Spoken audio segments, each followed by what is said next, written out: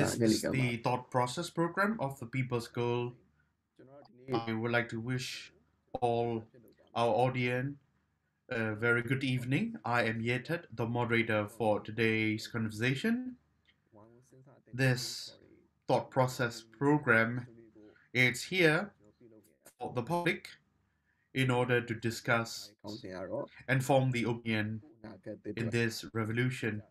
Today topic that we have in this conversation it's with the title Let's Rise, Let's Stand Up for Our New Futures Decision. So with this topic we will talk about the dynamic of the military, the changing context of the military these days there are lots of defectors from the military. There are even a whole platoon defecting in this revolution. And we have the speakers with us today. And on top of that, we would like to welcome all our audience joining with us for your conversation and for your messages. You have any particular to the soldiers of the military. There is Zoom link in the Facebook, and there is comment box in this Zoom.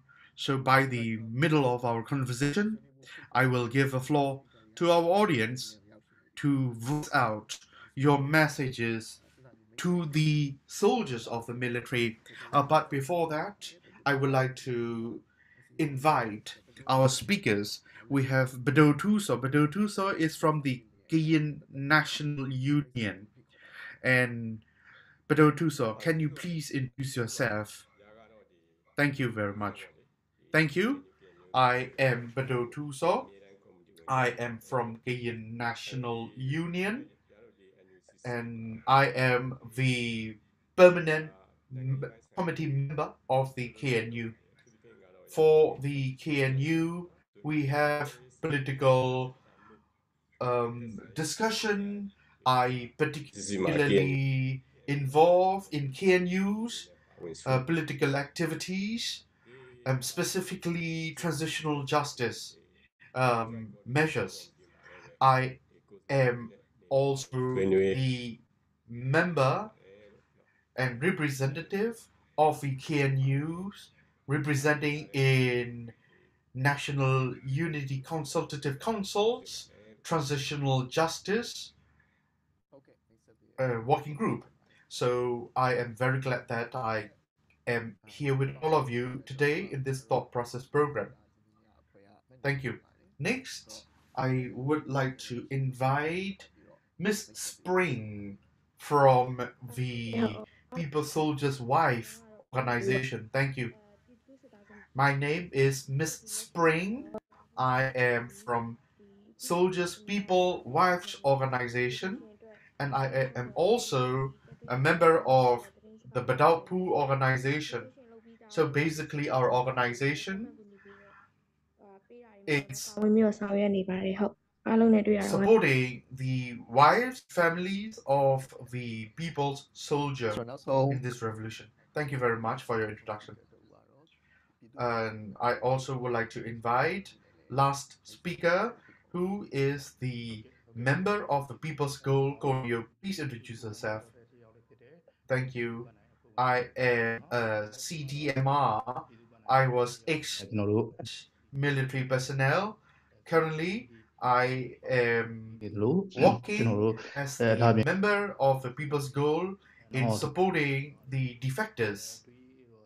And အောက်မှာပေးမိနေတဲ့ on တော်တော် top လေး of that, ဒီ I also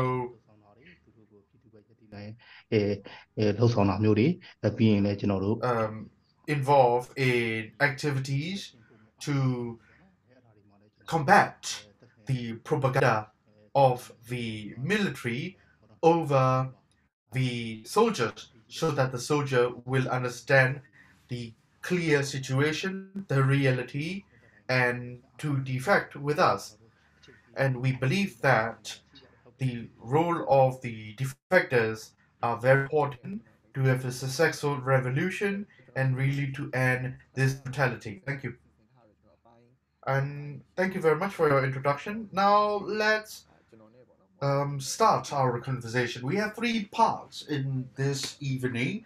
The first part um, will be about the uh, panel discussion, and then after that, we will have the question and answer session, and we will also have the final wrapping up parts in this evening as well. So for the first part, we will have the round of conversation.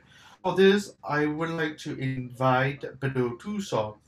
Can you please um, share your opinion regarding the current context, the current dynamic, particularly the military um, dynamic, the military situation, and can you please um, share your opinion regarding their situation, the, their current situation now, and you may also contrast the current situation with their dynamic in the past as well. Thank you. မျိုးသားဟို KN I အတုံးလုံးပေါ့လေရာဆိုတဲ့စကားလုံးအသုံးချင်ပါတယ်လို့ဘာကြောင့်လဲဆိုတော့ရာ myself as ya which is the I me my mind in Tibetan language. So allow me to address myself as ya in Karen language. Because the Myanmar language I has the direct literal translation as slave. So I do not want to use the Burmese um, word I whenever I refer to myself as I. I don't want to use the Burmese um, language I because the Burmese language I has the meaning of slave. So I would like to call myself, address myself အာ as I in Karen language because no is slave in here, right? So talking about this, the military is now receiving its bad deed back from the wrong that they committed against the public. The public is heavily angry with the military. In any perspective, the military is at its downfall. The situation is completely different from that of the time in 1988. In 1988, the military then was very resilient. Uh, but we have the technology. Um, we live in an informative um, world. We live in the digitalized era. So the military now cannot catch up to this world. But the public are already very much advanced in this um, era. We have this Operation 1027. Operation 10, 10, 1027 attacks the military in comprehensive manner. The coordinated military operation is imposed against the military. The mentality of the military is very down. This is the reality. The morality of the military is at its lowest. The whole platoon def- uh, it- it's finding the public. The whole unit is defecting, and the whole unit is joining with the public. The whole unit surrender their weapons at the PDF, at the ethnic armed organization. They know, the military knows, the soldiers know that the public is not with them. The public does not um, support them. So it is the time now that the soldier should earn the trust of the public. How to do so? They have to join their hands with the public by leaving the military rather than supporting the unfair, unjust system. The soldier really need to leave the institution. The soldier should understand that it is the time now that they have to fix the bad name of the military by leaving that institution without joining with the public, without reforming themselves, without restoring their dignity by stopping the brutality, then there is no way out for the military. So please surrender all of your weapons and please join with PDF. Please join with the revolution. Only then system changed might be there. And the future of the soldier, the future of the of the um, leader of, of the soldiers can be there only if they leave the military. So this is something that I would like to say. The revolutionary organization are there. The PDF, the revolutionary organizations here. The PDF is here. The people is here for all of you for all of the soldier that to join with us. So only then your future will be there. Only then the revolution will be ended. So this is something that I would like to say.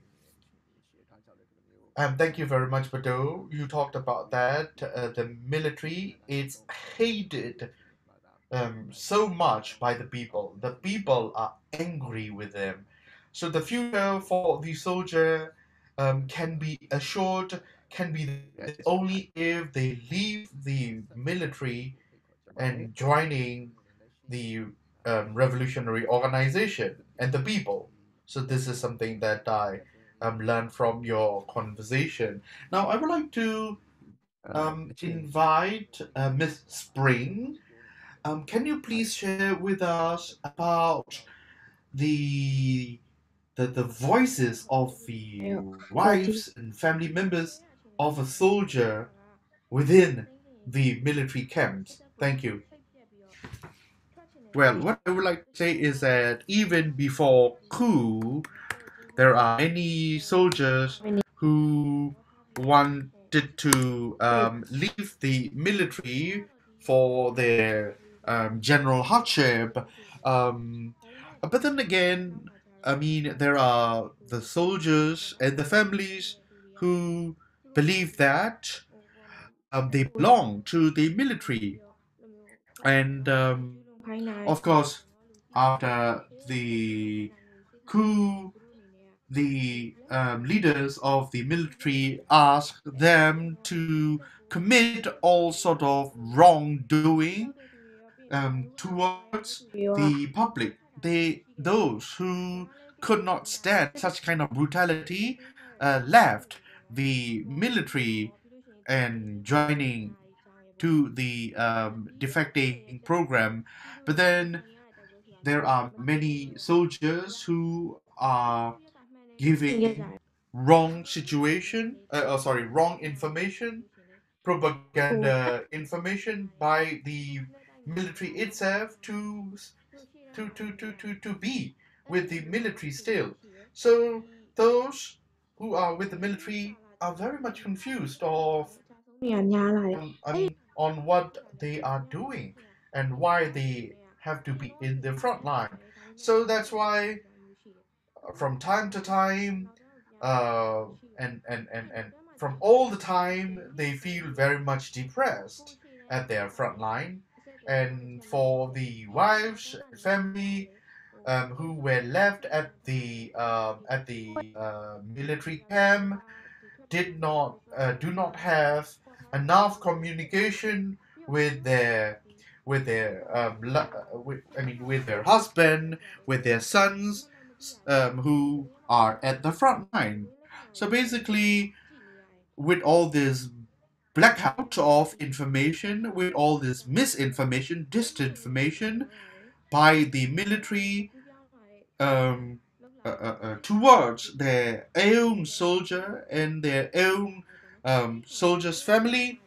Um, they did not have much understanding on what's going on. So on top of that, the children of the soldiers and the wives of the soldiers, the family members of the soldiers, uh, are asked to have the borough uh, military activities such as um, such as uh, uh, uh, uh watching the um, military post, the military um, barricades, and etc. etc. So the thing is that these days since the military Hello, Lale. operation is intensified, there are many incidents that ရဲရဲချေရတွေကိုဖိပြီးတော့စိ the တ်ထားရ bombs that, that, that, that there are bombardments by the drones.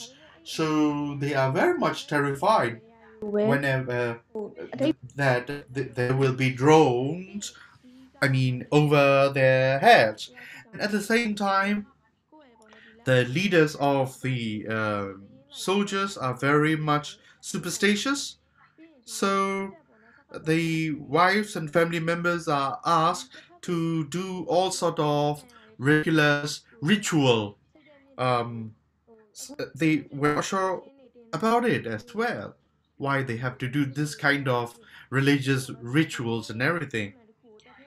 And now what happened is that whenever there was a particular uh, uh, incidents that the soldiers uh, died in the military operation. They are asked to post all the um, all, all, all, all the songs and all the um, happy and merry uh, media contents in the social media as if that everything is all doing fine and everything is all happily i mean uh, uh, uh, uh, living. So i think they are now facing all sort of difficulties to live in the military camp. Living in the military camp, it's completely, I mean, um, desperate. And majority of the uh, family of the soldier really know that they have no future. So we receive quite a lot of contact from the um, military that they would like to um, do the defection. Thank you. Thank you very much for sharing your uh, your opinion and, and, and information with us. As you say that soldiers are not sure and very frustrated regarding why they are fighting, um, why they are fighting for. And there are all sorts of misinformation, disinformation, and information blackout over soldiers and over their families as well. And there are all sort of ridiculous uh, religious ritual that the family members of the soldiers ask, and everyone is also confused. So this is something that we've learned from your point. And Ko Naung Yoe, I would like to invite you. What did you see as a change after the Operation 1027?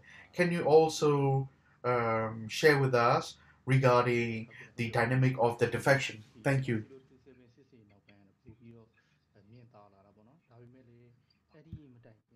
After 10 Operation 1027, we have seen the changes are more visible mm. even before the Operation 1027, we are seeing the, the military weakening steadily internally as well, because uh, with the Operation military cannot run offensive. They are in the defense now. They are very defensive. So it has made it very clear after Operation 1027 and that uh, you know that uh, they have uh, that although they have airstrikes and artillery to rely on but even that they cannot recuperate and that militarily that's also is very clear one thing i can point out is that uh, the military the sac forces do not repre- do not represent the people, do not protect the people. They are fighting against the people. And when you have a mil- institution like Temero, who is there, who is fighting against the people, they will in that that uh, interterminated, they uh, inevitably they will fail.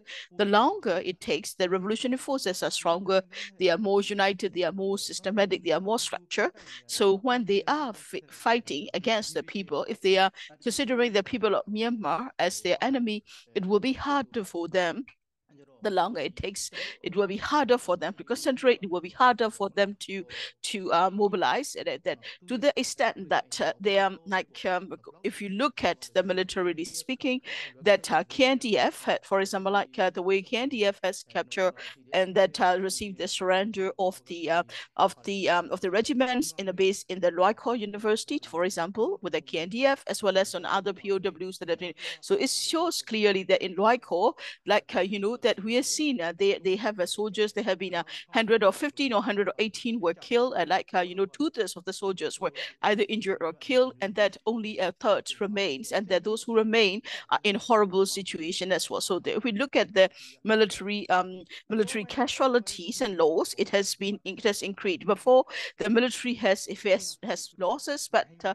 they were able to run the offensive. This they, they might think that they still have a chance to win the war, but as uh, Rotuso had um, explained uh, as well that uh, when the military is fighting against the people, so they are facing more losses, that they are more facing more um, than militarily as well because they are fighting against the people. So it it is very demanding psychologically as well as physically to continue the fighting as well.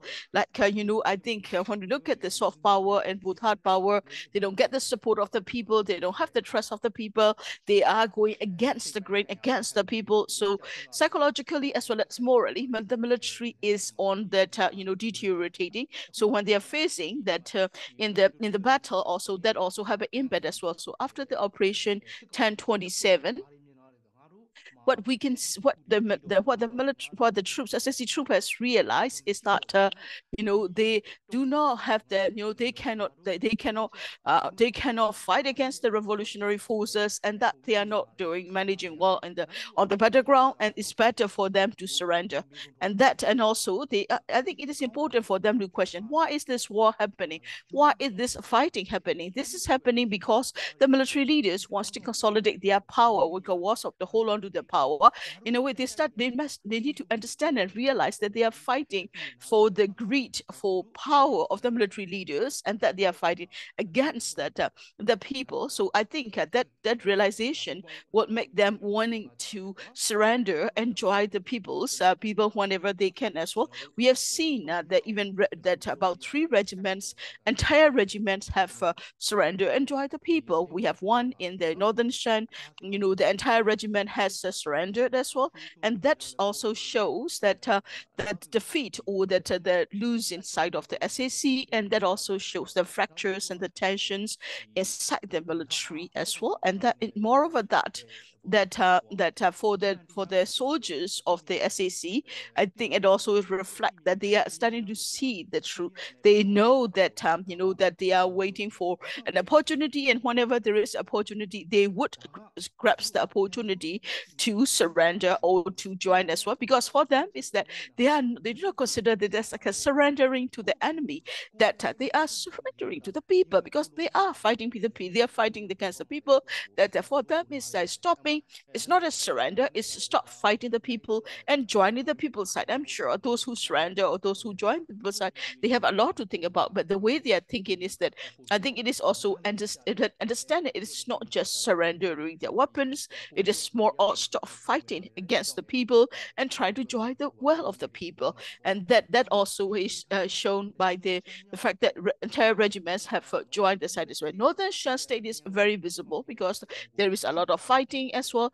And that um, there is also the different um, allied uh, revolutionary and revolutionary forces are fighting against SAC so. that uh, the battles in the northern Shan are quite visible and that also is that these such messages also have uh, you know spread in the inside the military as well that we are fighting not the just war and that uh, we should not be making such sacrifices and that uh, whenever we are engaging with the revolutionary forces we do not have the ability militarily to defend ourselves or to to counter the attack and that time you know that uh, it is um, that um, you know it is important whenever we cannot uh, you know we cannot defend ourselves we cannot fight back against them. It is better to you know that um, it is better to give up and it's better to join the people's side. That's also is sort of like um, the narrative that we are hearing inside the military. So that uh, military leaders will remain stubborn but my message to the soldiers uh, in the SAC is that this is a very important time. It is important to think about your own future. It is important to think about your family's future. It is important to bet your future as well. That uh, SAC is that, uh, you know, in a way, SAC is uh, sacrificing your life, your, your future for their power. And for what reason? That uh, will you be, uh, you know, will you be allowed, will you allow the military to exploit you and then, uh, you know, kill them and get you, you know, die without dignity on the ground for those. It is important to get yourself free from that uh, from their exploitation it is important to think about the future your future that of your family and that uh, whenever your your military bases are facing uh, that uh, revolutionary forces it is important to think about doing the right thing and also to stop fighting as well. Because when you surrender to the re uh, revolutionary forces it is not you're not surrendering to the enemy. But you're making the hard but very difficult but decision to stand for the people. I think it is important to be prepared prepare for that. And it is also important to make such a decision when you have an opportunity to do so. That's what I would like to share. Thank you very much. Thank you, Ko Naung Yoe, for a very comprehensive analysis of the current situation on the ground. So, I think uh, it is yeah, there there is a need to have more defectors as well as on the more people to join the CDM as well. I will be asking another round of question to our speakers. Then I will also give a chance for the participants, uh, other listeners and the attendees to ask the question. So either if you have a question or some a comment you want to make or the message you want to give to the people soldiers or to the soldiers SAC, please feel free to uh, participate. If you're in the Zoom already, just raise your hand. We'll be calling your name or you can also type the questions in the Q&A or the chat as well. So now I would like to invite Pro to talk once again that uh, so you have share in that about it as well and that uh, and and also uh, that, uh, that, that that here you have seen uh, uh, that we have seen that there has been a lot of changes happening as well. That uh, you look at the current situation, uh, there has been more deserter desertion as well as on the defection as well. So what is KNU policy towards the defectors and those deserters as well as those who surrender? What is your KNU position policy, and that what kind of preparation has KNU done for the to to receive the deserters? Or the the, the factors. Uh, looking at the current situation, um, that um, you know when it comes to uh, when it comes to the fight, fight the fighting, ongoing fighting, I think it is also important to look at, uh, we, I would like to say that military and politics are interconnected. That's the first point I would like to make. So now that uh, there are re uh, revolutionary ethnic revolution forces or ethnic or the other revolutionary forces are waging war as well. So KNU, Karen National Union has, uh, when we have the political strategy that goes into political concept that go into the fighting, because whenever people say, oh, they are fighting, we when that uh, the, the the nature of the war is uh, is not about targeting individuals, but our fighting, our battle, our struggle is about changing a system, and that's why we are fighting this this war. That we are in this struggle in our fight. That whenever we are going to capture an enemy camp, then it is important to give them an exit point. We always give them an exit so that they can leave. So whenever we fight, our strategy and tactics will allow them an outlet so that they can uh, peacefully leave as well. Politically speaking, the message we like to give to SAC is that uh, according to the political ideology, we are we are in this struggle and we also fight militarily, but we give them a political outlet too, the same as we leave them military outlet. That um, but for us, that uh, if there are rank and file or the you know leaders, commanders, commanders, and that uh, who do not want to to serve, serve under the dictatorship, who do not want to serve under the you know such a dictatorial military leaders, they have a way out. They have an exit, like just like in the political struggle as well. If they also uh if they also want to oppose the military dictators they don't want to follow the orders of the military dictators. If they want to leave then if you're if you're in the KNU K- K- KNU uh Karen National Union territory then we have a we have the humanitarian treatment from us. We will treat you with as a human being because uh, I'm sure you've seen videos in the YouTube. You're also seen on the Facebook as well. We do not torture them. We do not uh, harm them we in fact uh, we treat them with humanitarianism that uh, if they are injured or if they are not uh, healthy then we provide them with the health and health care as well so this is how we treat those uh, soldiers as well it is not just in uh, Karen, uh, Karenni Karen National Union territory. If you go to the Karenni state, it will be the same. In the Karenni state, I'm sure people have seen what is happening in the Karenni state area. Even some of the family members of the soldiers will have realized that how the you know these revolutionary forces are treating the soldiers as they see if you look at the northern um if, if you look at there for the three uh, northern alliance uh, that uh, you know the entire regiment has surrendered including their families. And that uh, you know how they have been treated you will see then as well. We wage war we wage battle. It's not about killing others. It's not about uh, you know killing as many as we can from the enemy. Our goal is to change the system. We want to reform a system. We need to change a system. And that's the reason for us in waging the war.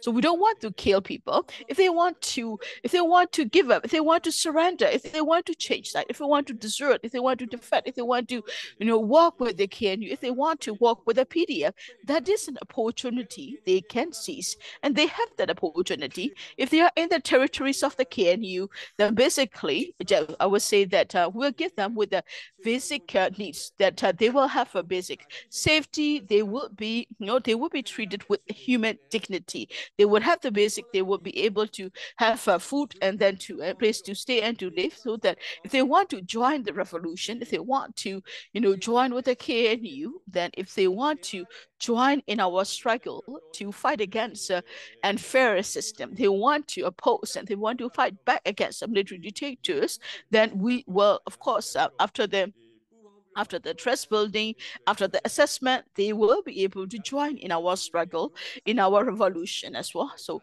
these are, we have a policy, such a policy, and that's what we are implementing on the ground as well. So,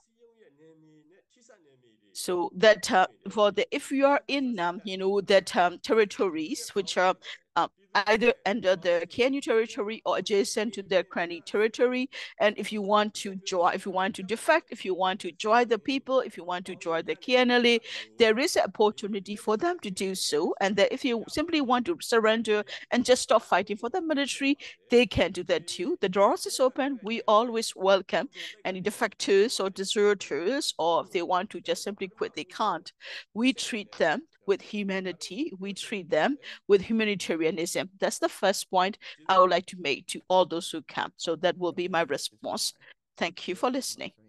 Thank you, Padoh, for the the point you have raised. So can, can you uh, have explained that that in waging war, can you always uh, uh, accompany with a political concept and that you always welcome the defectors and deserters. And this is something we always discuss that uh, can you always have a strong policy towards it as well that can you consider can you will provide the basic uh, the dignified treatment uh, for the defectors and deserters and that and also we have heard about it we have also have seen that KNU is doing in such a way on the ground too So thank you for your response. Now I would like to invite Spring once again.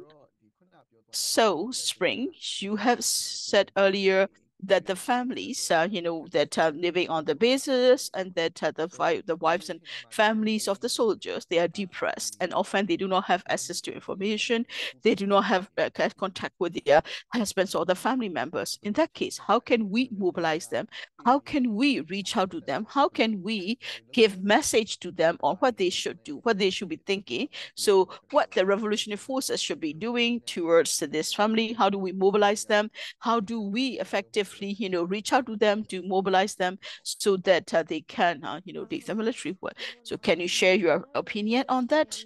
For me, that um, I when I since the time I started working on the defection, I think it is important. We have always uh, mobilized the women, okay, women as well. For for a soldier, a soldier is if he wants to defect, then um, he if he has married and if he has a family, he is the head of the family. So if whatever decision he make will have an impact not only on him but also on his family too. So that uh, for them it is uh, if he wants to make a decision to defect he have to think about his family. So if he you know defects uh, what will happen to his family? Will his family be able to survive? If he can you know even if he can uh, take the you know he can take the trouble he can live through the dif difficulty but he they may be very concerned about their wives and also for their children particularly if they are young. If the wives their wives themselves will say that's fine go just defect and i will support you and i will accompany you and I can uh, live through the hardship with you, then if the, with the encouragement of his wife, he will, uh, it will be easier for him to, you know, leave the military. It will be easier for him to make such a decision to defend as well. So that's that's the reason why we have consistently mobilized the, the wives or the family members of the soldiers because the uh, a soldier's wife, uh, the spouse, uh, the spouses can always, uh, the, if they, she will like uh, prohibit them, she will also stop them from doing the wrong thing, and then as well as on if she can also encourage him to choose the right right way and do the right thing, and then if the families were to say no, you cannot do such act like that, then the the soldiers will be will think twice before committing the atrocities against the people of Myanmar the way they have done so as well, and if the the wives are they're focusing more on the what they can gain from the husband's position or the husband work and then if they are very much you know happy with what they gain and that um, even if they the, the man the husband wants to leave and they want to you know that to stop the following that uh, horrible orders but then the, the wife could be pressuring him to just stay inside the military so that she can just live in luxury and she can to be able to get a benefit from it as well.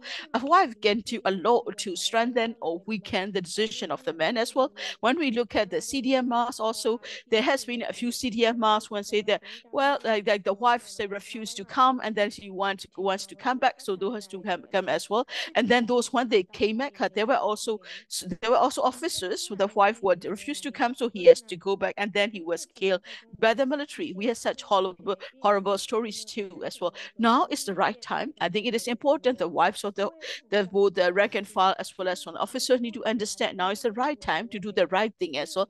It is important for not only for the revolution, but also for their own personal safety as well, that it could also be their less opportunity to join as well. So don't wait until it's too late and regret not missing that opportunity as well. That for women of always have a, you know, ability that uh, often women have ability to thinking, but sometimes some of the women might not be thinking deeply. But I think it is important for the women to think, you be clever and make the right decision to encourage the husband so that you can make the they can do the right thing for their family as well. There are also the families who are preparing to leave the military.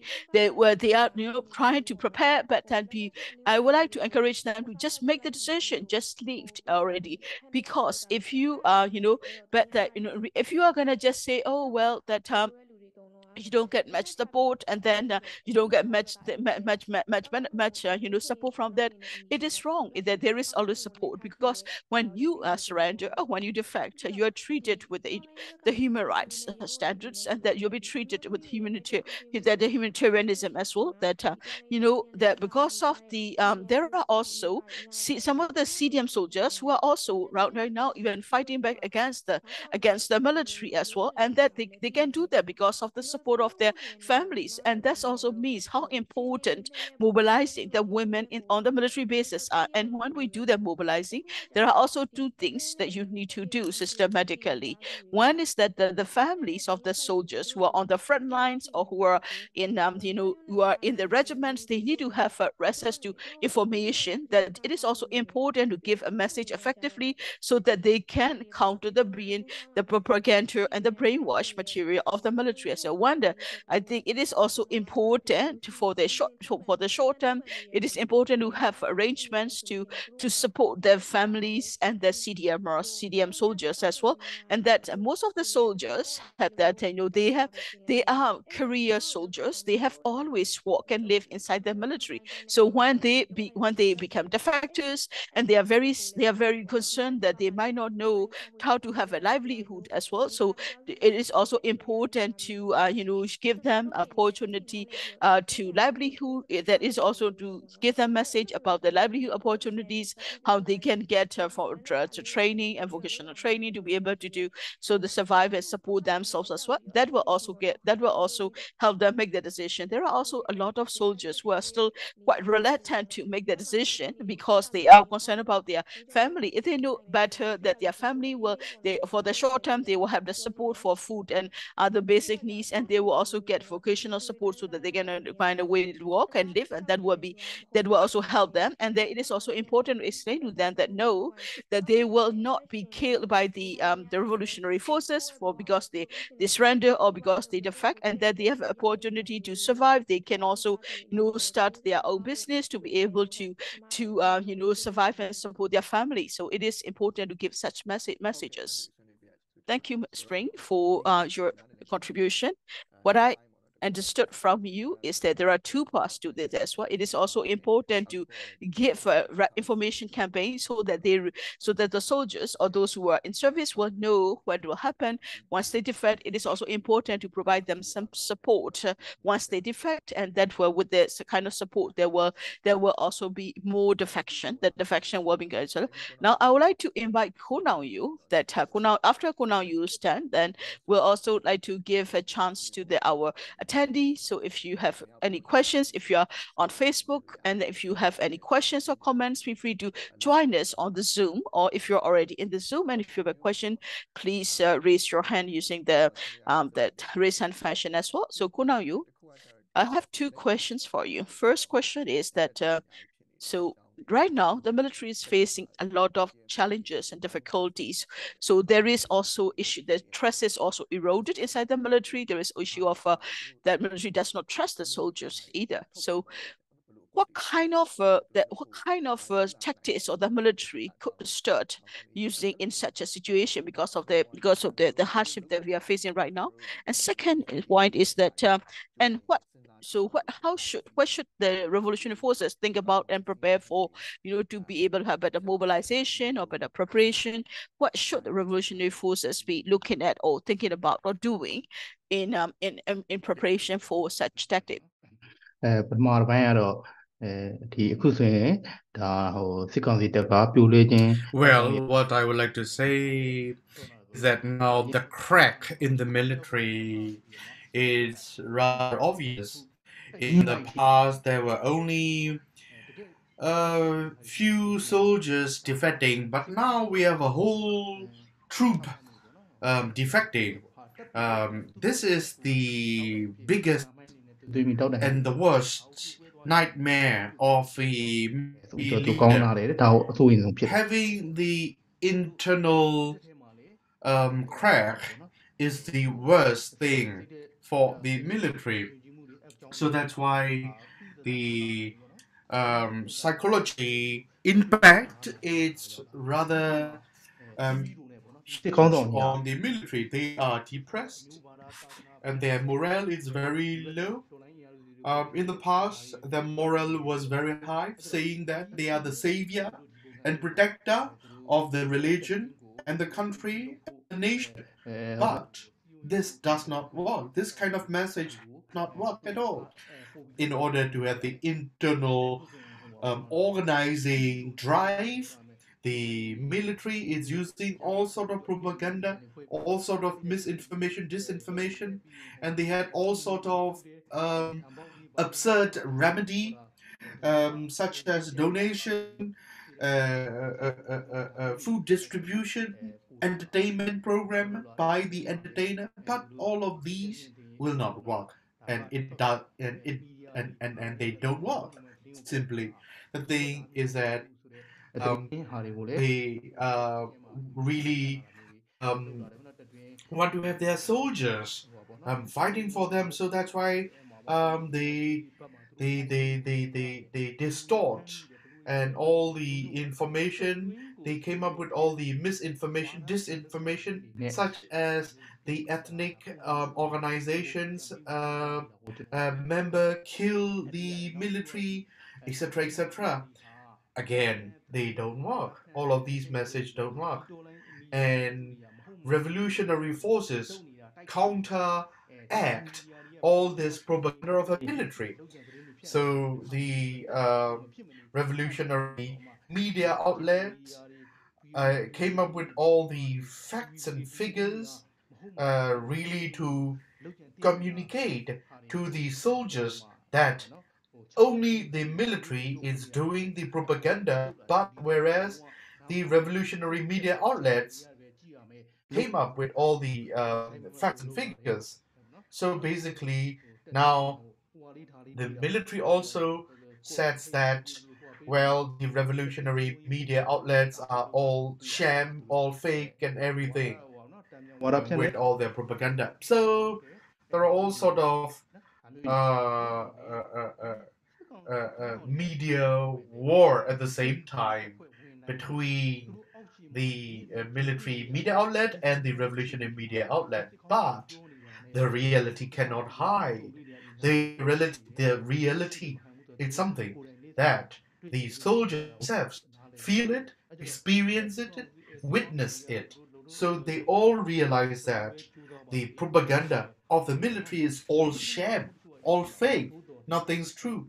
But of course, propaganda of the military uh, might have their intended impact, but the intended impact of the propaganda is very, very low, I would say. So basically, what happened is that the military propaganda simply um, does not work over the uh, public.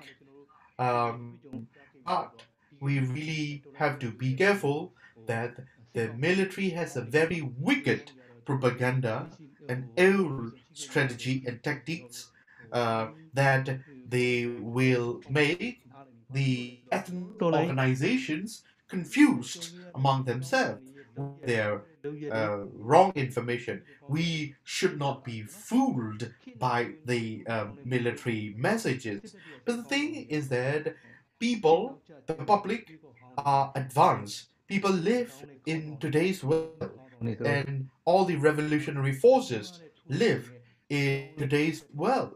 But the military leaders do not live in today's world. They are left behind in terms of technology, in terms of ideology, in terms of the way that they see the mankind. The thing is that with all their old mind, old tactics, old wicked scheme, they played their dirty games, but simply they don't walk on the people. So anyway, the soldiers, I mean, you have to realize what you need to decide. You need to, you know what's going on. You know how you experience. You know that your leaders are telling all the lie. So please be alerted. Please be aware that what's going on. So basically, um, just um, will be uh, soldiers are brainwashed. Soldiers are provided all the wrong information, uh, but soldiers know the reality. Soldier know um, and, and, and, and, and in contact with the people. So it's very important for all of you that you reflect yourself on the reality. And we, on the other hand, try to provide the real information, the realistic information of a ground um, to the soldiers and to the family of the soldiers. So, soldiers, you really need to be aware of the reality. And I also would like to encourage each and every one of public member to join our hands to show the real world for the soldiers. Because the thing is that nobody should not be fooled by all these wicked remedies of the military leaders, military junta. Only then the soldiers will be defecting with us. So this is my overall message to everyone. Thank you. Thank you very much, Ko Naung Yoe, for your contribution. What I learned is that the military will use their same old, brand new military wicked tactics, uh, and and and and they will fool us. They will fool their soldiers. But then again, the real information shall never be um, high. So everyone needs to join our hands to make sure that the soldiers know the reality. This is something that I learned from you. Again, I would like to give the floor to our audience for sharing your message, if any, to the soldier of the military. Godeza, you raise your hand. Please take the floor. Godeza, you may have your microphone on and discuss. Thank you. I hope that you can hear your voice. Yes, we can hear your voice. one or two What seven I would like to discuss is about this Operation 1027. Um, since the start of the Operation 1027, the whole platoon defecting, the whole unit defecting, it's happening. So this is expected actually. We will have more of this um, situation uh, in coming days as well. And this means that we need to make sure that it is our responsibility um, that we take care of the defectors, we accommodate them, we look after them. So it is the responsibilities of all the supporting organization to them. So I would like to raise my question that do uh, does NUG has any plan to address situation.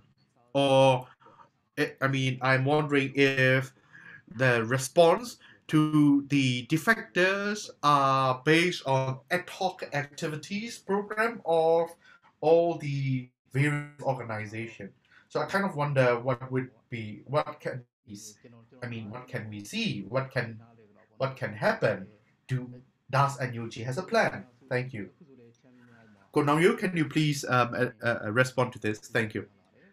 Uh, well, uh, uh, as far as I Uh, understand, that there are two, uh, two, two units in northern Shan State defecting, and in Karenni area, the whole unit um, defecting. Uh, uh, and um, what I'd like to say is that already at the very beginning of the um, revolution, the ethnic organiza- revolutionary organizations such as KNU took care of um, the defectors on their own as well.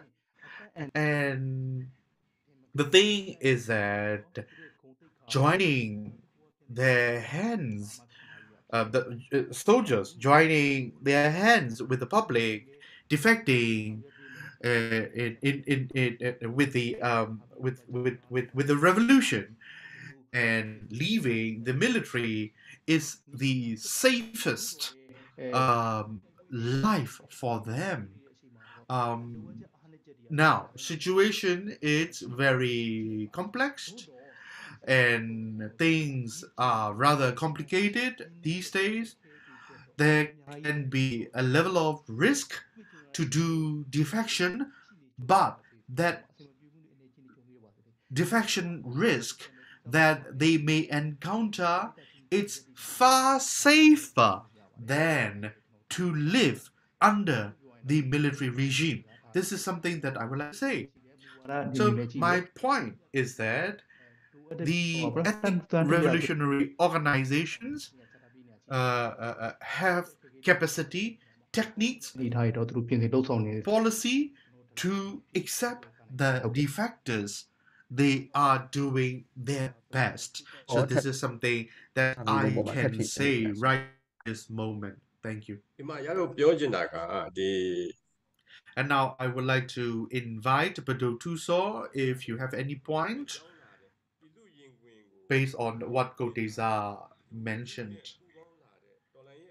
Joining the public, taking the refuge of the um, public guidance, defecting, joining ရင်ကလေးက people embrace program လူသားအစည်းအရုံးမှာဆိုရင်တတ်နိုင်သလောက်ပါပဲ are the synonym သူ့ရဲ့အင်အားလိုက် နော်ကိုလုံးနေတာတွေရှိတယ် the defection in our revolution.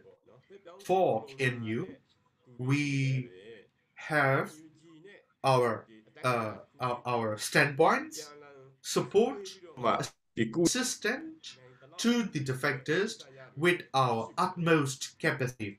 We work together with NUG as much as we can for the um, defector management. There are measures, there are program, there are provisions, there are contribution for the defectors so that they will enjoy their own human dignity, human rights, and human integrity. And the thing is that it is very important that we need to do this kind of uh, uh, uh, work in coordination, in collaboration.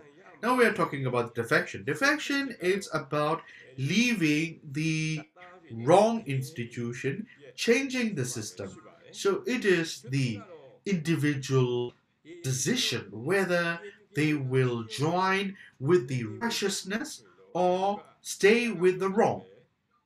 ရဲ့ So it is the individual decision whether to do the defections or not if they made the decision that they will leave the wrong and join with the righteousness, then we as KNU thousands and tens of thousands of defectors within our own capacity, and we also coordinate uh, with the other organization for the defectors, and there are also opportunities that we can do more for the defection in the future.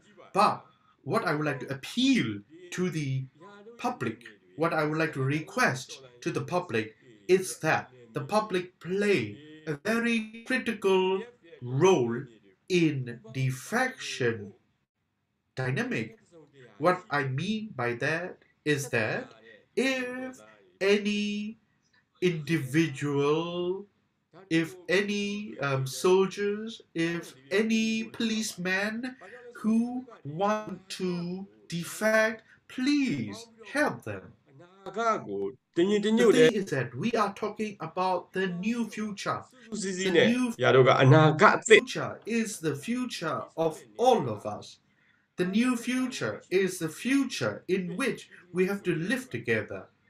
This is the responsibility of each and every one of us to pave, to shape the new future that we want. Now, my message to the public is that please help the defenders by any means that you can. Now, what I would like to say to the soldier, to the Please, Eddie. is that you really is the wrong and what is the right. And you know that the system that you serve is a wrong one. Whether you continue serving that wrong system or whether you join with the right side, which is to protect the people.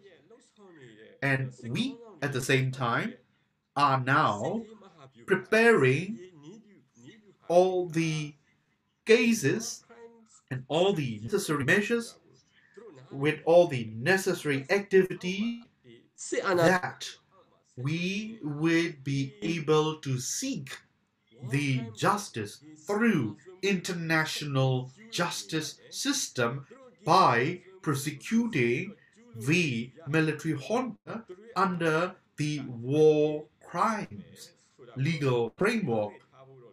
So, if when the time that your boss, your leader, is prosecuted in the international justice system with war crime, your system that the your wrong system that you are serving, the wrong boss that you are serving will not protect you.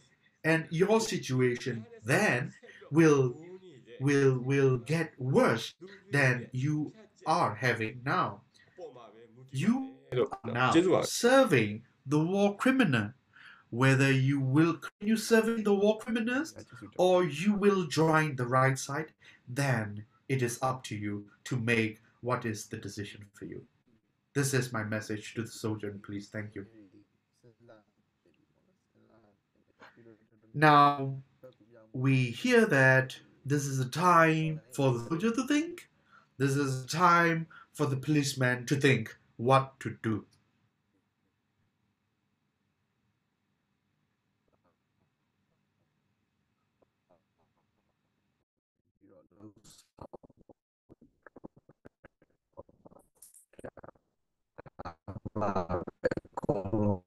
Well, I'm sorry that uh, we cannot hear the facilitators very well.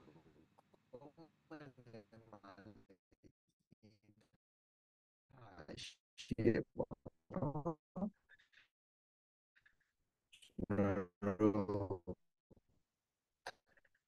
Uh, uh,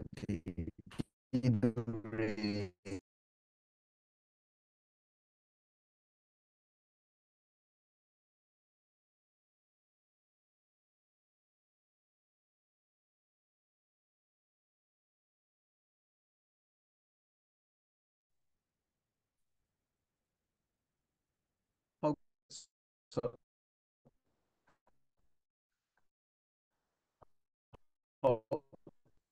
um, I try to ad hoc. Um, တော့ကျွန်တော်အခုဒီ chat ထဲကနေ Sorry about that. Uh, my, my the moderator was having internet connectivity issues. So I would like to read a question that uh, you know when there is a war uh, that uh, you know the re- human resources, uh, weapons, ammunition, and supplies are very important. So the fighters are most important. Now that the SAC is facing a lot of losses and injuries, so how do you think the SAC will try to recruit its rank and file? So that's the question we have received in the chat on the Zoom. And apologies, uh, we cannot hear the moderator anymore, hoping he will be able to connect with better connection. So thank you for bearing with us. Oh, Ko Naung Yoe. So can you take this question in the chat about how will the military try to recruit so I know that your your audio is also a little bit choppy. So thank you. I will I can take the question in the chat box. The chat box question is that uh, military is has a lot of losses as well as some injuries. Uh, so how can they recruit to gain more man manpower? That uh, in terms of recruitment and that uh, and logistics, there are two parts. So they have uh, forces which are not uh, which are not in front, which are not fighting, such as they can use Southern Shan. They can also use also that's from the ARE region as well, but that they are also limited because they are also using different means to get new recruitment as well. That's just what we know because in the central part of Myanmar, because of without the lack of the rule of with the with the lack of the rule of law, they are using any means possible that uh, that as well. Like for example, like if the police arrest uh, young men or the people, then the military will go there and then say, well, do you want to go to jail or do you want to serve? And then um, sometimes that's the option. So they would threaten people to join the military at all costs. They will, so that is what they are doing as well. Another is they are also trying to uh, promise a lot of uh, job opportunities. They will say like, okay, you're gonna get this job or you're gonna get this position, and then they were also like recruiting uh, different ways as well, offering um, that careers as well as on the different ways. As a, in, on the um, military lobby pages, we are also seeing they are trying to recruit as much as possible as well. They are using different ways to threaten and to force them as well. They are also going to some of the areas, uh, Ayeyarwady. We see in that Ayeyarwady because there is no, there isn't much Ayeyarwady. So we are in the villages, they are trying to go to the community and through the local authorities, they are trying to recruit uh, that, uh, but recruit new, uh, that, uh, you know, um, new soldiers as well, that in the recruitment, they do whatever they can to get numbers as to get numbers. So for example, like in Ayeyarwady area, they will go to the different villages and then they would uh, mobilized, they were organized by making different promises as well. They will also make a falsify that uh, job offers.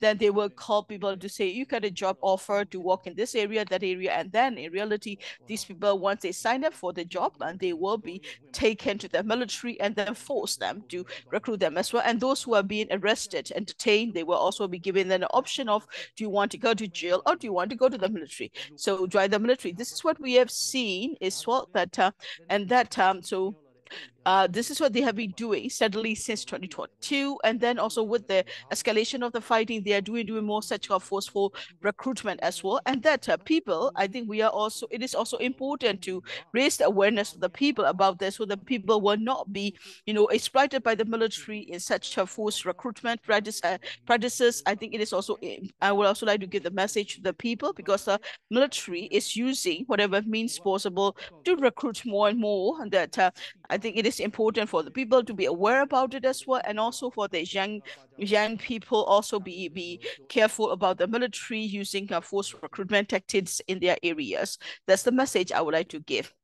Thank you. Oh, now you for your answer. I would also like to ask participants if you have any questions or comments, please raise the hand. So there is also another question we have received in the Q&A. So that it's not just that you know, everybody must, uh, all the civil servants must join the CDM, not those under the Ministry of Home Affairs. If you do not join the CDM, then they are, they should be taken action. They should be taken action by the by the by the state treason law because they were they are they are in going against the will of the people many Spring, what do you think? Well, about the CDM and the mm. all the the question, if I understood the question correctly, is that there should be non-CDMR uh, should be punished. I think it is not just for the military or the police and the all the civil servants that need to all the civils need to join the side of the people, and that non-CDMR uh, should be punished after after the revolution after the revolution because all of us are hoping for transitional justice once the revolution is over, and that uh, there should be a process to investigate as well, and that uh, you know there should be a transitional justice where the action should be taken for the part that they had committed during the um you know that um in, during the revolution. I think there should be such a justice and accountability.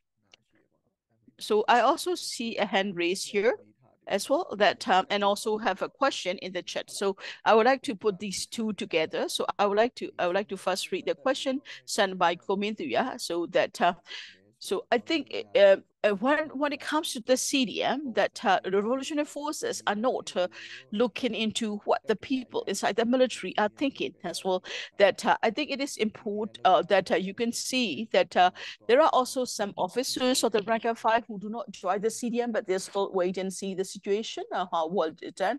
Also, there are also those who are do the CDM and they do not join the revolutionary forces. They are just you know hiding in plain sight in the community as well. How do you see them? This is a question for Padoh Htoo Saw.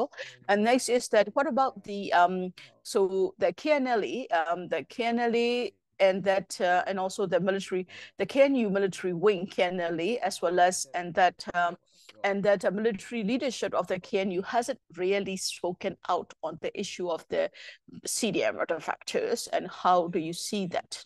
Thank you for the question. Well, when it comes to the CDM, that we our policy for the CDM is that, uh, as Spring had explained, uh, that uh, for us, you know, that uh, they're not doing the CDM is important. Okay, they are not. They they are the fact that they are not CDM is important. What is more important are the human rights violations, and there must be transitional justice as well. And that uh, and that um, that uh, also that that um, you know even if they do not join the CDM, if they are non-CDMR, but if they don't violate the human rights, if they don't commit the crimes, and that um, you know during that coup, um, that uh, that uh, they do not uh, work with the military leaders to to violate human rights, if they do not commit such acts, although they are non-CDMRs, then there is no reason to take them into take them to account for their action because everyone has a right to decide freely, and they may also be in difficult circumstances and that to join the CDM as well. And that uh, there are also those uh, soldiers who, you know, who desert or defect, but they do not do anything and they do not join the CDM and they can also be providing public service such as the healthcare CDMers. Uh, that uh, there are also those who do not join the CDM, so they are non-CDM, this, they remain inside their regiment, this may remain inside their military, and yet they are also, they turn informant, they give information to the democratic forces. There are such people too that, uh, you know, for the PDF, for the revolutionary forces, or they do the EROs, and that uh, we receive uh, such information from there. They, they are still inside the military. They are even, they, we have a lot of informants coming from different, from all walks of life, including the military. So, so what, what do you mean by the joining the CDM? I think it will be important to have a clear definition of what do we mean by CDM that uh, you know are you the, uh, is a person a cdm or a non-cdm it's in reality can be very difficult to make it such a determination. You know like uh, often we the information we receive is that inside the military too that some of the officers they're sharing information with us their information their military operation information. Like if they you know we don't have a like a bomb um, you know we don't have airstrike going on that we know that there will be maybe sometimes we get like 10 hours sometimes like one day in advance or six hours advanced, there will be bombing inside, there, there will be bombing in a particular area. There will be fighter jets and they share the information with us so that people can be evacuated. So that's important. And that's information coming from inside the military and they are not CDMR. So how do we define what is a CDM? That how do we, you know, that uh, make a careful distinction as to the CDMRs and non-CDMR? It will be a very difficult uh, determination to make. I think it is important uh, that uh, those uh, authority, concerns authority will need to, you know, make a distinction as well. If you're staying inside the military, like the watermelons, for example, you know, if you're the watermelon, if you stay inside the military, but you support the democratic movement and you help any way you can, then it also depends on how, what their performance is and to what extent have they been able to contribute to the revolution. That also is a point we need to take into consideration. And that uh, so, and that uh, as for the KNLA or the military wing of the KNU and the KNL leadership, it's in terms of uh, leadership, KNU, Karen National Union, has been now in this in this revolution for that for a long time. That uh, you know we we have been in the revolution for many, many, many years. We it is something all of us cannot deny that KNU has been in revolution for a long, long time. And that uh, I'm sure if you have learned about the history, you will know about it as per how long the KNU has been in revolution. That, uh, you know, for us, uh, the priority is the public safety because we have to think about the people and that uh, as well, and that um, so I think uh, it is important uh, uh, that um, that uh, it will. I think we are also doing that. Our tactics and strategies, ensuring there is a safety of the population, as well. Those within KNU and KNLA, we have uh, there is uh, both a political as well as other military consideration in our strategies and tactics. So we, the two, because for us, the goal is to achieve their political goals. Fighting war and waging battles is important, but uh, we our focus is on the political objectives. We are not we are not just thinking about fighting a battle. We are not just thinking about winning battles. We are thinking about winning the war. Because if you focus on the battles and if we cannot win the war, then it will be problematic as well. So for us, it's not about the battle, it's the winning the war, which is more important. So how do we wage war is also important. It will also be, we have to take consideration about the public safety, public uh, that uh, security. We also need to think about the people's the people need to survive as well. So in based on that, we decided on the strategy. So how that will be this, how this military strategy will support and contribute to the political struggle. So what kind of impacts are there politically, socially? So that's something we have to take and decide. So these are part of our consideration. This is our part of our discussion and dialogue. And this is what we are also implementing as well. When it comes to military, I mean, of course, I'm sure you will understand that we cannot talk about the military or the warfare online like this in a public space.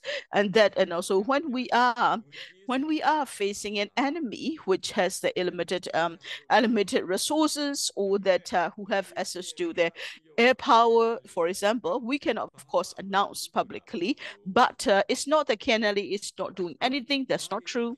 And also, what has KNLA done? I think is also something you'll need to, if you research on what we are, what we are doing, what KNLA has done, you'll have a better understanding of what we have been doing.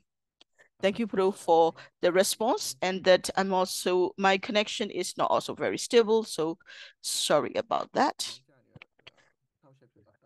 And that um, I'd like to, uh, to um, apologize for the inconvenience caused with my internet stability. I would like to invite M8086. You have raised your hand, so please go ahead. So I'm a student attending federal school so I think the, when you talk about the CDM and non-CDM, I think it is uh, so that should we be treating them equally, or you know should we be you know treating them differently? Well, the non well the CD well the non-CDM whether you know CDM must get better opportunities than or better rights than the non-CDM must or that as well. So I would like to know about it as well. Well, your questions about the CDM non-DM is not directly uh, connected to today's topic, and non-CDM can be also be brought as well. So that uh, I think Padoh also talk a little about the transitional justice as well. So you are also working on the transitional justice. So can Tuso, can you also respond to this question about the CDMs and non-CDMs. Thank you for that question. Um, that I did mention briefly about the CDM and non-CDMs. In reality, it's very hard to distinguish who the CDM and non-CDMs. Let me give you an example.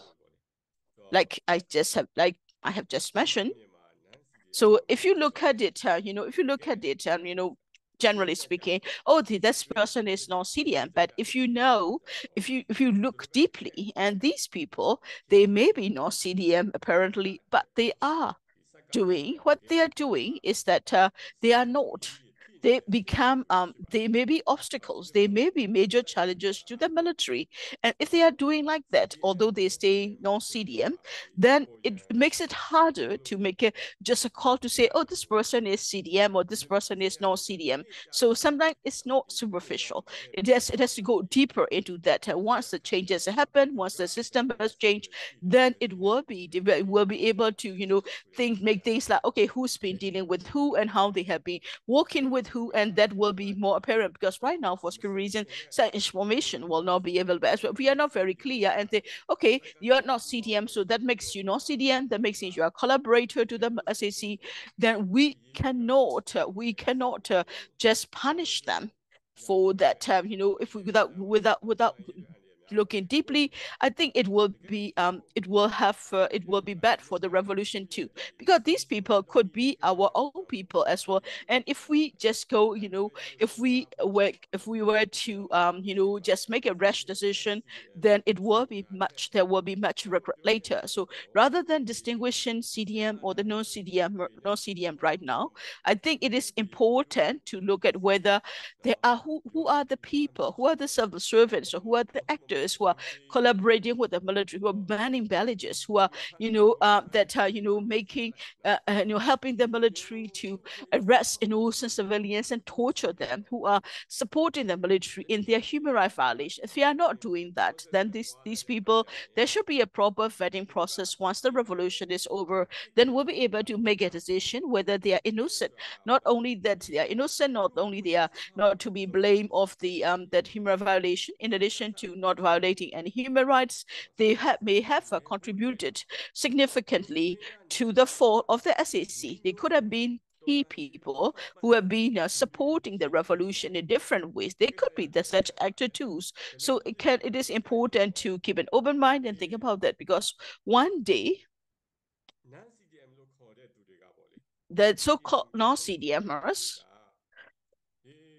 that um, that uh, might might be might be the one those who are really collaborating with the, the North. If they are collaborating with the military, then they will be there will be need to be have a verification. There will need to be a political purge or the you know the criminal purge that will have to come along with the along with the transitional justice of course they have to we have to clean the system. It will be right if we were to talk about now it will be too early but there's there is in terms of policy there if there are like no human rights violations if they are not collaborating with the military for self-interest or for for the for the personal gain of that then if they those uh, that then uh, the the issue of whether they should be they should be um they should be um you know punished for being not CDM that's something we have to be careful about. Thank you, Padoh, for the point you have raised. And that's these are indeed uh, issues we need to think a lot as well because when we do uh when we are doing the trying to change when we mobilize the people to change their ideology, I think it is important to as well to think about as well those who change the mindset or the factors, but there are also we need to mobilize who still might not be able to openly change to our side as well, and that at the same time, according to the transitional justice, one I think it is also important to to consider all these issues very right as well, and that uh, as Padoh have explained, that uh, people are very um, people are very angry with the military. People hate the military, so they may have strong sentiments. That is understandable, but I think it is important that we should not be. We are trying to focus not it's, it's not the it's not the person but the system. So we are trying to change the system. I think it is important to focus on getting what changed, and that's part of the mobilization and support that we needed as well. Thank you for the answer as well as on the uh, participating in our discussion.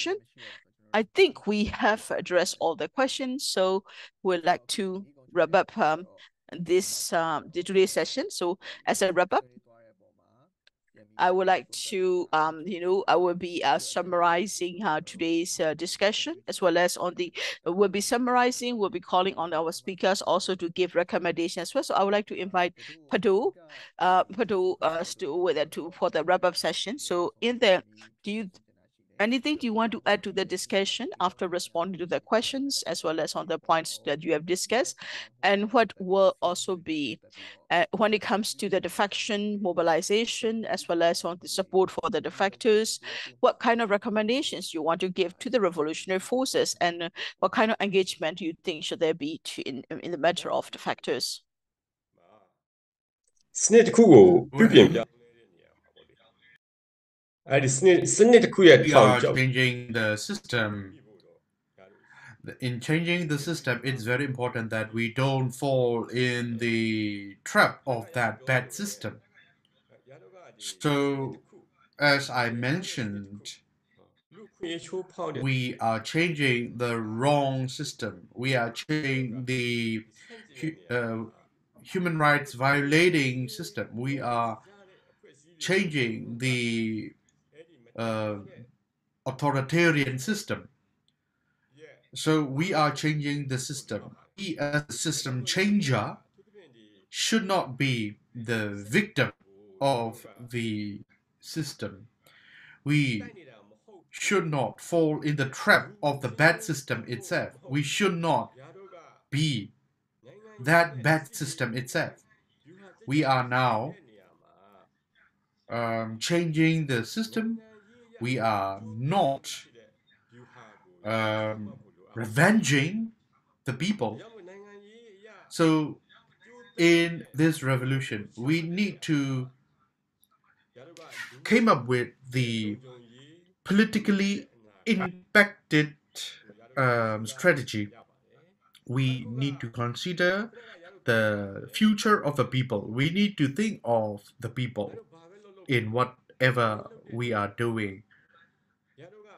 In this revolution, we may play our own role in various ways, but whatever we do, it is for the system change. We are not targeting any individual in here.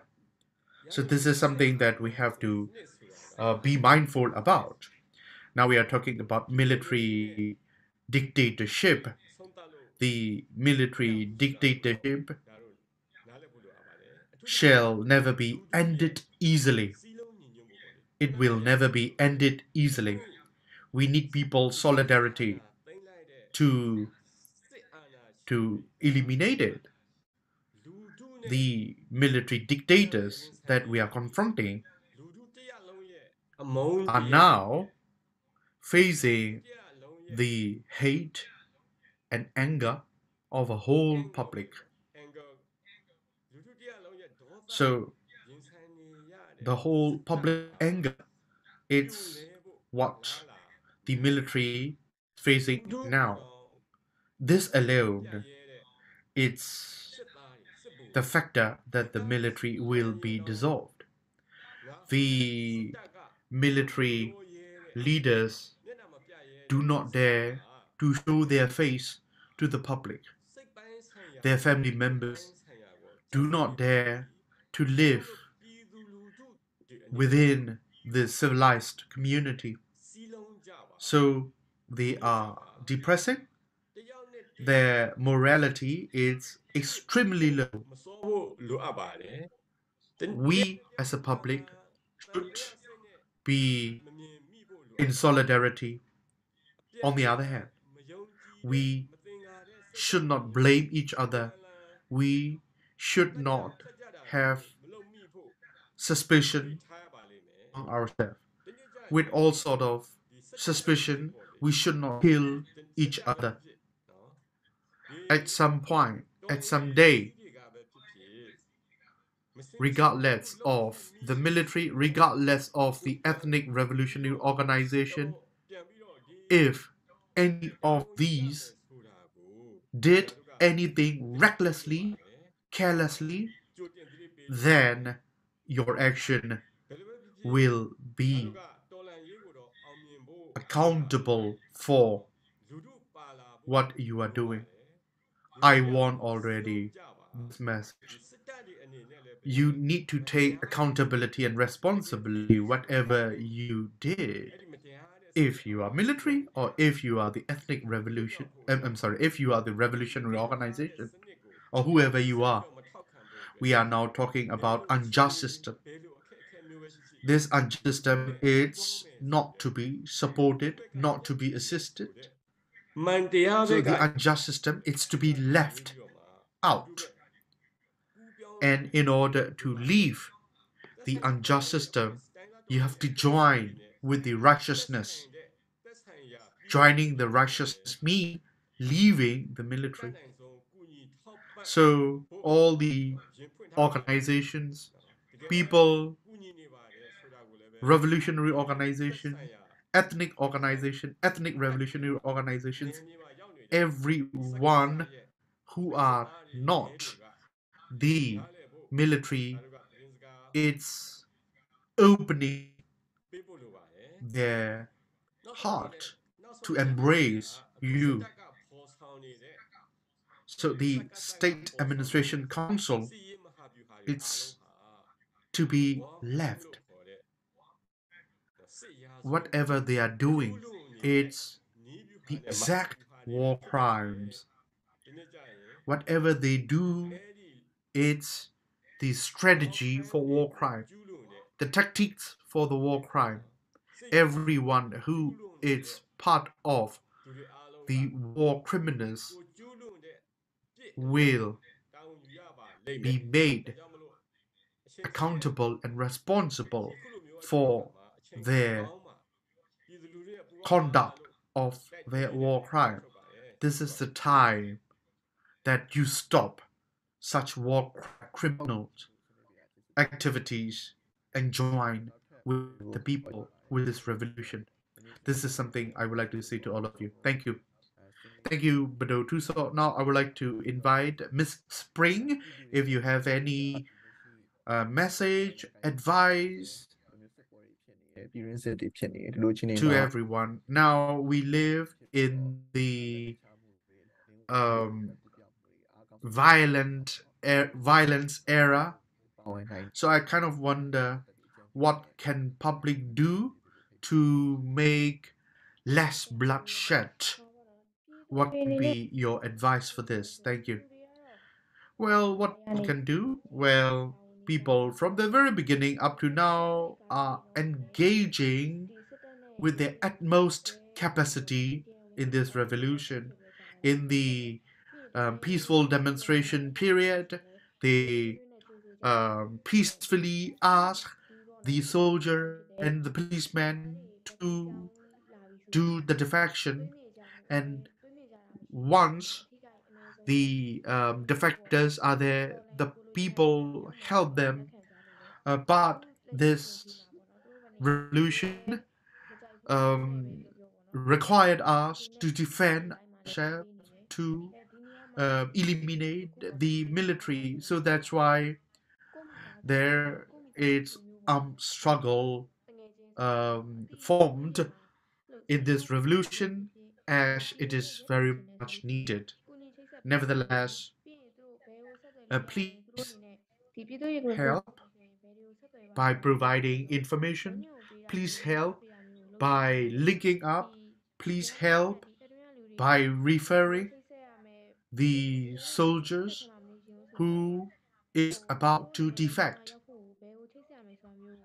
And even, I mean, there are soldiers who want to defect, but they don't know what to do, they don't know where to go, they don't know all the information. So, public can play a very important role in being the potential defectors by just by pro- providing information of the defection program it's something that is very critical.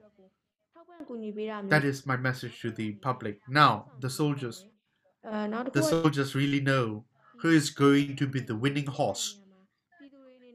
So you really need to know and you already know which side that you should join.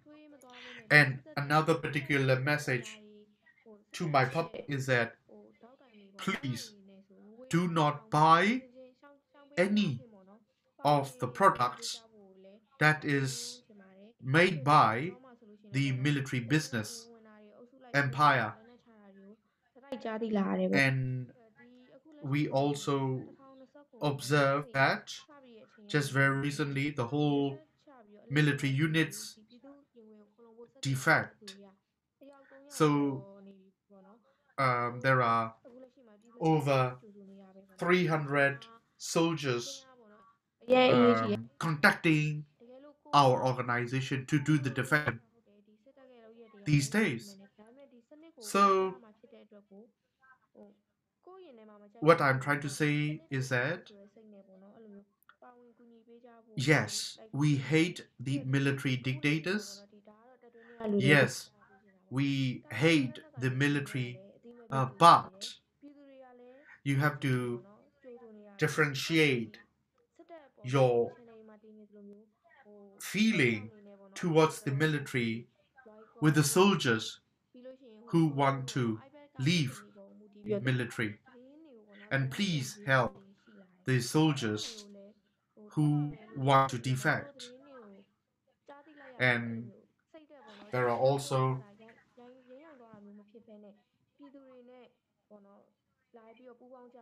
uh, all sort of propaganda by military towards the soldiers. Please do not believe them, and please just join the public, the People Defense Forces, and ethnic organization. They are helping the defectors to live, to enjoy the human rights, to reintegrate with their family, to restore their human dignity. So this is the last hope that we all can survive. Thank you. Now I would like to invite Ko Naung Yoe.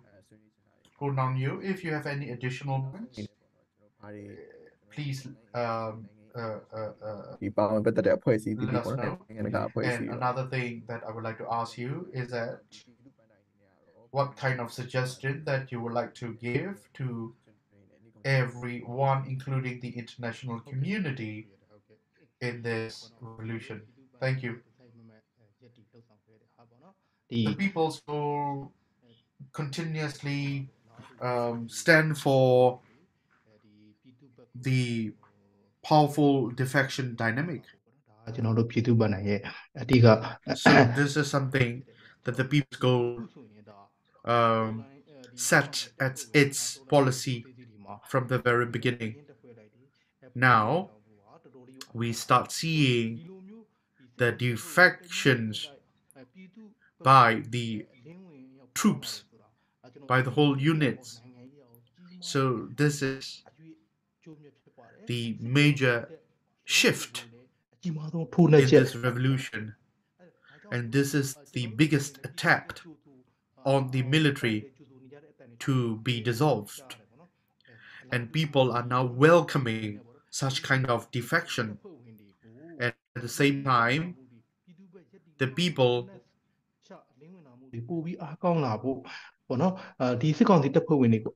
should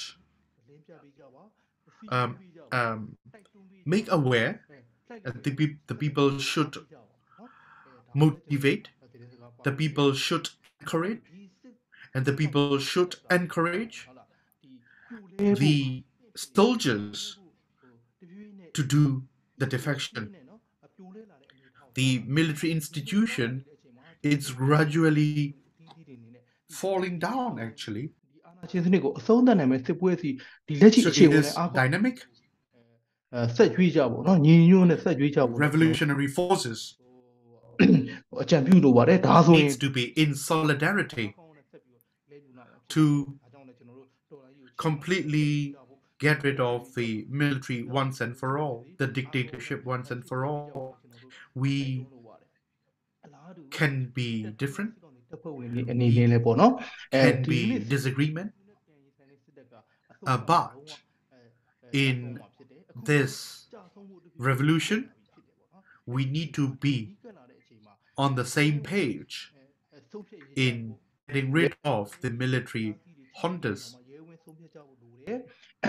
We need to say that. I would like to say that there is a moment in life that you need to make a difficult decision.